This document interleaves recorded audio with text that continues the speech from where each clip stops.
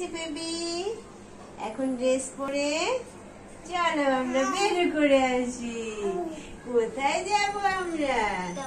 তুমি রেডি তুমি রেডি মাম্মা? বলো হ্যালো আমি এখন ডাক্তারের কাছে যাব। আমি কেমন আছি সেটা জেনে আসি। আজকে এখন আমরা পুস্তকে নিয়ে ডাক্তারের কাছে যাব। এমনিতে সুস্থই আছে।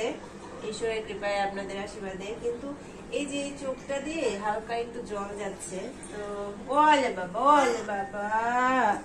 হালকা একটু জল যাচ্ছে তো ভাবলাম যে একটু দেখাই নিয়ে আসি যে আসলে কি কারণ। এখন আমরা প্যাকেট হব। প্যাকেট হব প্যাকেট হব।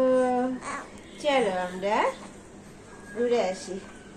দেখি তো ডাক্তার আঙ্কেল কি বলে? দেখি ওই ডাক্তার আঙ্কেল কি বলে। চলো, বলো। আমরা ডাক্তারের কাছ থেকে ঘুরে ঘুম থেকে উঠায় মানে ঘুমের মধ্যে রেডি করাচ্ছিলাম, ঘুম ভেঙে গেছে। আচ্ছা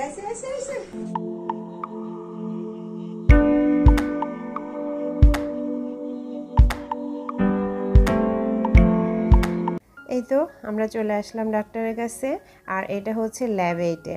তো আসার পরেই প্রথমে পুষ্কুসোনার ওয়েট দেখছিল। তো পুষ্কুসোনার দুই মাস পূর্ণ হতে আরও কিছুদিন বাকি আছে, তো আজকে ওর ওয়েট ছিল সাড়ে চার কেজি। তো ওর ওয়েটটা দেখার পর আমরা কিছুক্ষণ বসে বসে অপেক্ষা করছিলাম, কারণ আমাদের সিরিয়াল আসলে আসতে আরও কিছু সময় লাগবে। আমাদের আগে আরও অনেক পেশেন্ট ছিল। তো কিছুক্ষণ পর গিয়ে আমি জিজ্ঞেস করছিলাম যে আসলে আর কতটা সময় লাগবে। তো আরও কিছুক্ষণ বসে অপেক্ষা করলাম, করার পর আমাদের সিরিয়ালের টাইম হয়ে গেছে। তো এবার আমি পুষ্কুসোনাকে নিয়ে চেম্বারের ভিতরে যাচ্ছি। আর চেম্বারে আসার পরে ডাক্তার আসলে খুব ভালোভাবে পুষ্কুসোনাকে চেক আপ করছিলেন। তো চোখের যে সমস্যাটা নিয়ে আসছিলাম, সেটা তো খুব ভালোভাবে দেখছিলেন। দেখার সাথে সাথে উনি আরও অন্যান্য কোনো সমস্যা আছে কিনা সেগুলো একটু চেক আপ করে দিচ্ছিলেন। আর এই যে উপর করার যে ব্যাপারটা সেটা আসলে আমি প্রথমে খুবই অবাক হয়ে গেছিলাম। তো উনি এত সুন্দর করে বুঝাই দিচ্ছিলেন আর আমার সাথে সাথে আসলে আদ্রিতা মনেও খুবই অবাক হয়ে গেছিল যে বোনকে এইভাবে উপর করে রাখল। কি রে মাম্মা? মাম্মা, মজা পাচ্ছ? হ্যাঁ মজা পাচ্ছ তুমি?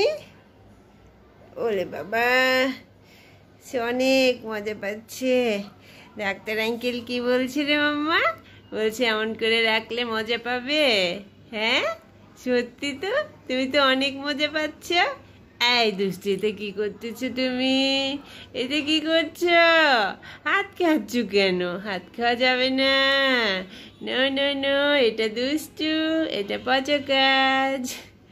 এটা পচা কাজ। সে সত্যি খুব মজা পাইছে। ডাক্তারের কাছ থেকে আসলাম কিছুক্ষণ আগে। এসে ফ্রেশ হলাম, ওকে ফ্রেশ করালাম আর দিদামণিকে ফ্রেশ করালাম।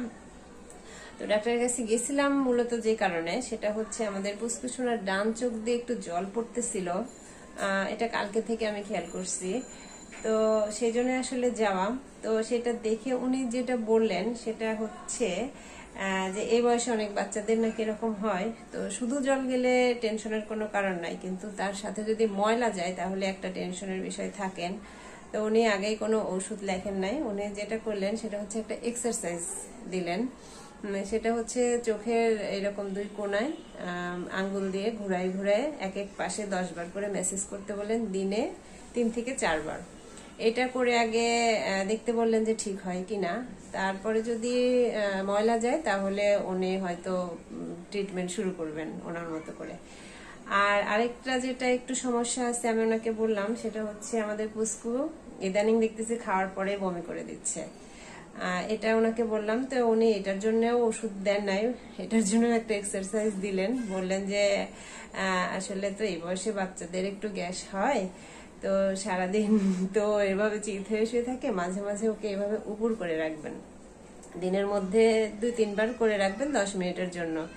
তো এটা যখন বললেন, আমি একটু অবাকই হচ্ছিলাম, কিন্তু উনি যখন ওনার চেম্বারে ওকে উপর করে দিল ও যে এত মজা পাইছে তখনই দেখেই বোঝা যাচ্ছিল।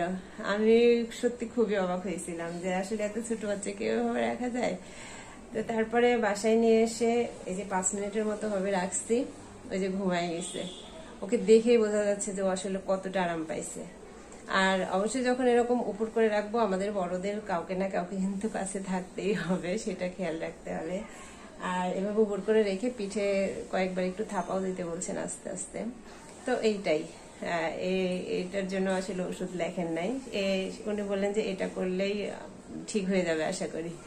আসলে আমাদের মাদের সমস্যা, একটা কিছু হইলে আমরা এত ঘাবড়ায় যাই, আর ঘাবড়ানোরই, ঘাবড়ানোটাই আসলে স্বাভাবিক, কারণ ওরা তো আমাদের বুঝাইতে পারে না বা আমরা ওইভাবে বুঝতে পারি না, যার জন্য দৌড়াই ডাক্তারের কাছে। কিন্তু ডাক্তারের কাছে যাওয়ার পর ওনারা যখন সুন্দর করে বুঝায় বলেন, তখন আসলে অনেকটা ভালো লাগা কাজ করে, আর টেনশন থাকে না। তো এই তো, এখন আসলে অনেকটাই রাত হয়ে গেছে, ও তো প্রায় ঘুমায় গেছে।